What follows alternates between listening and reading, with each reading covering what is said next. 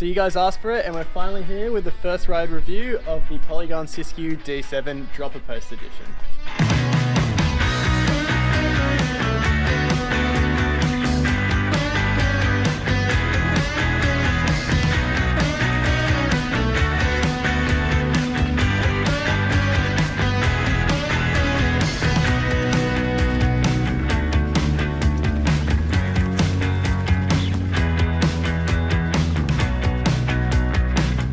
So these are the kind of bikes that I really wish that there were when I started riding. Really modern geometry, great spec for the money. You've got a dropper post, one by drivetrain, air fork, air shock, hydraulic brakes, all that kind of stuff that you really want when you're getting into that sport and giving you all that confidence.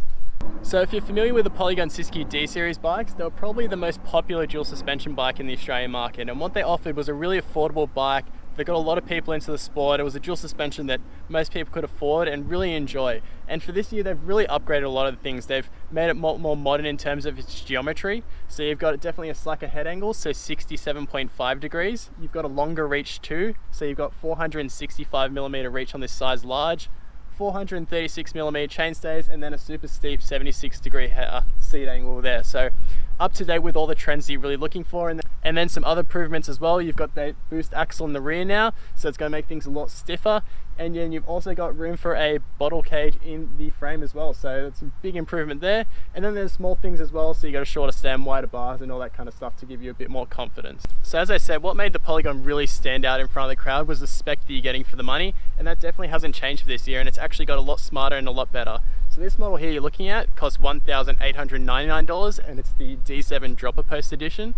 So what you're getting for that money, you get a one by drivetrain. So it's an XT rear derailleur with a clutch, which is awesome to see, with a Sunrace 11 to 46 tooth cassette. It's a one by drivetrain, so one by at the front. Then you've got a threaded bottom bracket, which is always good to see for durability. Then moving on, dropper post, you've got 130 or 125, have to double check that, it's a KS dropper post, and then you've got the Southpaw style lever. Then moving on to the suspension, you've got 120 millimeters of rear suspension and the rear suspension is controlled by an X-Fusion O2 rear shock there and that has external compression lockout as well as rebound adjustment. And then up front, you've got the RockShox Recon and that has 120 millimeters of travel. It's worth noting that the rear is boost, but the front isn't. So that's something to consider as well, but they've both got through axles. And that RockShox Recon has compression adjustment at the top, so you got a lockout as well as rebound adjustment down the bottom. Moving on to the brakes, you've got Shimano MT201, so hydraulic disc brakes. And then you've got a nice cockpit there too, so 780 millimeter wide bars, so that's going to give you a lot of confidence, and I think that has a 15 millimeter rise if I'm right. And then you've got a 45 millimeter stem, so nice and short, and really complements the reach of this bike very well. So moving on to the wheels here, you've got 29 millimeter internal width wheels, so they're tubeless ready. All you need to do is add the tape and then some valves. And then you've got WTB tires, so they're the trail bosses and they're 2.25 inch wide, but they aren't tubeless, so that's something to note as well.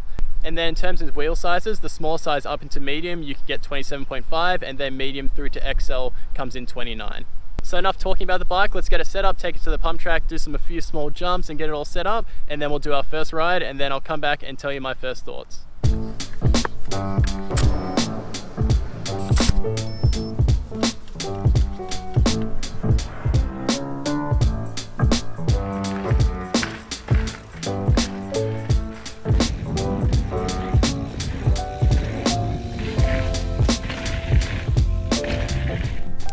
Okay, so just before we get onto the trail, I'll run you through the settings and kind of how I get to that when I'm first setting up a bike. I'll do a more comprehensive video in the future, but in the meantime, this is kind of a general gist of what I do.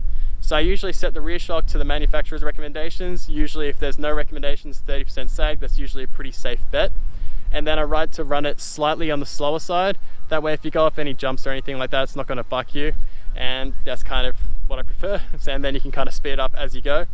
Then the fork, uh, just usually go by balance. So I'll set it up to kind of like a rough guide or usually what they recommend, but on RockShox stuff, that's usually too soft. Fox stuff, usually pretty close. And then I'll just go for balance. I want a kind of balance feel between the two. So do a few squishes and then add or take some pressure out. And that's kind of the gist that I do. I don't like using sag on a fork because it's very hard to get true sag on a fork. So in terms of rebound for the fork, slightly on the faster side from the center with your fork, I tend to prefer running it slightly on the faster side, that way it doesn't pack down, but it depends on bike and your settings and stuff like that and your weight. So my settings for this bike, again, 30% sag, it was 13.5 millimeters, and that was around about 170 PSI.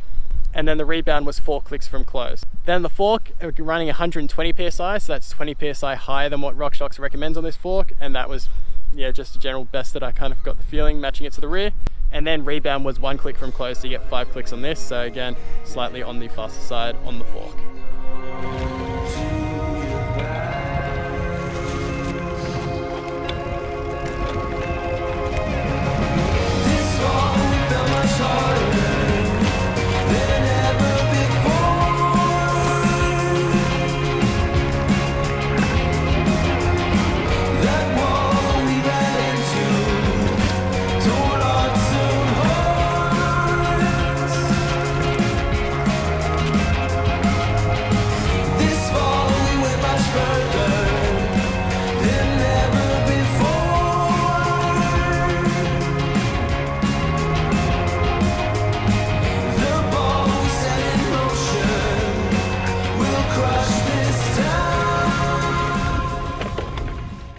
Okay, so we're back to the ride, so let's talk a little bit about the bike. I won't go into too much detail now, I'll go mostly into detail in the full review, but we'll talk a little bit how the bike descends, climbs, just a little bit about the spec and the future plans for the bike. So I typically don't ride shorter travel bikes, but I always find it refreshing to go back to a shorter travel bike on those more mellow trails and just flick it around and just have generally more fun on the bike. They're just a bit more efficient and a bit more playful and that's always fun. So let's talk a little bit about who the bike's for. There's three main people that are gonna buy this bike. The first one being a younger rider or someone coming into the sport that's had probably their first hardtail and they're looking at upgrading to their first dual suspension bike. The second one is a more budget conscious weekend warrior. They're gonna ride mostly on the weekends, but are just looking for an affordable bike that they can really have a lot of fun on and do mostly kind of XC and trail riding. And then the last one, a bit of a funny one, people that just see dual suspension bike and assume it's a downhill bike and they can send it over anything. So when I'm reviewing the bike, I'm really looking at through those lenses of those potential customers. Okay, so let's get a little bit onto the spec of the bike. And honestly, at this price point, there's nothing that I can really fault on this bike. So as I said earlier, the drivetrain's a mixture of Shimano XT, S-Select shifter, as well as a Sunrace cassette, and it's a 1x11 setup. And that 11 to 46 tooth cassette gives you plenty of range for climbing. And this stuff's bulletproof, reliable, and pretty affordable to replace as well in the future. So it's a really great spec option there. And I tend to prefer it as an option compared to the cheaper 12 speed SRAM stuff. The SRAM stuff's a lot heavier. The cassette weighs around about 150 more grams. And that really is a lot on these kind of bikes. You want them to accelerate quickly and it does compromise the rear suspension performance a little bit as well. So I'm really happy with the drivetrain on this bike. So moving on to the suspension now, the RockShox Recon up front, it probably is my favorite suspension fork at this price point. You do have to inflate up a little bit more than what it recommends, so around about 20 psi in my experience for my given weight. But yeah, it performs really well, pretty supple off the top, nice and controlled. The only thing that you really notice is when you start to push it is a little bit more flexy than the Revelation and that kind of stuff like that. But that's entirely a different price point. So at this price point, it's a really good fork. And the same can be said about the X-Fusion O2 rear shock on this bike. I've got an X-Fusion O2 on my Marin Alpine Trail as well, and I've really enjoyed that shock. On this one, it's a slightly less sophisticated model, but pretty much the same. You've got the same amount of rebound adjustment, and then you've just got a lockout on there as opposed to the four clicks of adjustment on my Marin, but really supple off the top, nice and supportive, and it's a really good shock at this price point too. And another thing I really enjoyed in the bike so far is the cockpit. So it's the exact same cockpit I've got on my Enduro bike. So a 45 millimeter stem, and 780 millimeter wide bars. So nice and stable at speed, and that's what you want on these kind of bikes. A lot of confidence when you're going down on the steeps. Another thing I noticed is how well the bike corners. That's mainly thanks to the geometry of the bike. So you've got a really low BB and the reach and chainstay length really complement each other really well and you feel very balanced on the bike. And considering the tire spec, I was pretty impressed with the cornering. For XC and trail riding, for the main intended audience of this bike, the tires will do fine, but as you start to progress with a lot of these riders, they're progressing on this bike, that would probably be the first upgrade I'd do. So upgrade it to tubeless and then put some more aggressive tires on there and it'll really make this bike come alive. The same can be said about the Shimano MT201 hydraulic disc brakes. For the intended audience of this bike, they do the job pretty well, but it would be something as you start to progress as a rider that you would probably upgrade.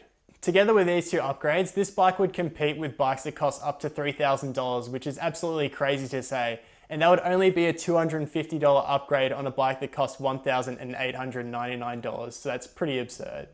It's safe to say what you're getting for the money is absolutely insane on this bike and the foundations of a really, really good trail bike are there. The suspension platform, the geometry, you get a dropper post, tubeless rims. That's something that a lot of bikes that cost $500 to $1,000 more can't even say. The best thing about the new D7 is definitely the frame and the geometry of the bike. But the main thing that really impressed me about the bike is the geometry that you're getting. When I'm looking at the geometry of a trail bike, the main thing that comes first is fun that's definitely what I'm looking for the most. So I really want it to be fun on the trail. I can flick it around, have a lot of fun. The second thing, I want it to climb really well because you're going to be using this bike in a lot of undulating terrain. So you need it to climb well up those more pinchy climbs and those kind of more pedally trails. So having that steeper seat angle really helps on this bike. And then the last thing, I want it to be stable enough, but not too stable that it starts to detract from the fun of the bike. So I really want it to be that kind of good balance between reach and going over the top and a slack head angle, but not too slack either. So it really strikes a good balance, this bike. In terms of the rear suspension, another thing that I noticed that it was nice and supple. Usually in a lot of cheaper dual suspension bikes, you'll notice there's a fair bit of stiction off the top, but I didn't notice this on the bike at all. And on those chattery sections, it was really supple and it really ironed out those small bumps really well. The suspension also has a fair bit of progression in it as well, so that's really good on a trail bike, helps you pop off things and go off jumps and stuff like that. And as you start to progress on this bike, going off bigger drops and stuff like that, the progression really helps too. In terms of how the bike rode, as I said earlier, I really like the way that this bike corners. Corners really well, and as I said, that low BB really helps this bike corner really well. So if you like railing berms, this is definitely gonna be a bike for you.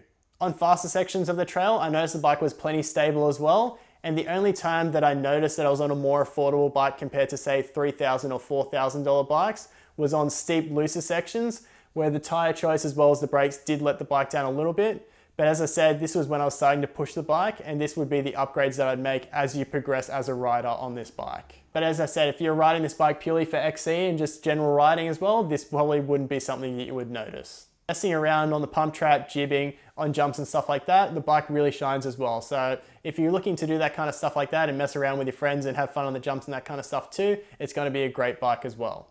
In terms of climbing, the bike climbs very well as well. That's mainly thanks to that really steep seat angle and the bike pedals really well. It's got a good pedaling platform as well. But as I said, mostly come from an enduro bike, so going for a trail bike, it's always going to climb well, but it definitely did notice that it did accelerate very quickly as well, and there was minimal pedal bob, especially on those steeper sections of the climb when I was out of the saddle and really putting down the power, I didn't notice much bob at all. Overall, my first impressions of the bike are really, really good. This is the kind of mountain bike I wish was around when I was first shopping for my first dual suspension to buy. When I started mountain biking, it was usually you bought a hardtail, then you get a really bad dual suspension bike, and then you'd finally get something that was decent. So this really eliminates that middle stage. So you just go from a hardtail to a good dual suspension bike that you can really upgrade and progress on. So that's awesome to see, and it's gonna save a lot of people money and probably keep a lot more people in the sport for longer that kind of middle stage or just moving on from your hardtail, a lot of people do give up the sport there. So if they jump on something like this, it's really going to make them stay in the sport and really enjoy it. And as you're starting off, this is all the stuff that you want. You want a capable bike with good geometry that's upgradable, comes with a dropper post. It's going to give you a lot more confidence when you're descending. Nice wide bars as well. So it's going to make you a lot more confident when you're progressing on the bike as well. And that's what we really want in these more entry level dual suspension bikes. And it's great to see that Polygon really listened to the criticisms of the old model and put everything that they learned from that model into the new bike. So you get in that bottle cage, which a lot of people did question about. So it's in the middle of the frame now, so you can put a water bottle in that frame. You got better geometry, that through axle on the rear. It's all the stuff that we really want on the old model, and you've got that now, so it's great to see. So in terms of the future of the bike on the channel, I'm gonna ride it for a few more months so that way I can build up a proper full review for you guys. And then I'm also gonna do a comparison to the Merida 120 as well as the Norco Fluid, which I did a review of last year. And those are the, probably the three most common entry-level dual suspension bikes that a lot of people are gonna get in the Australian market. So it's gonna be great to do a comparison between the three of those. I won't give you any kind of insights now, definitely have to wait for the full review, so I will tease you a little bit there. But in terms of value, the Polygon's got it at the moment, but in terms of the writing, we'll just have to see. So if you enjoyed this review, don't forget to give a like, also subscribe to the channel, and if you have any questions about the bike or questions for me, definitely leave them in the comments below, and I'll always answer all the comments that I get. And as always guys, thanks for watching.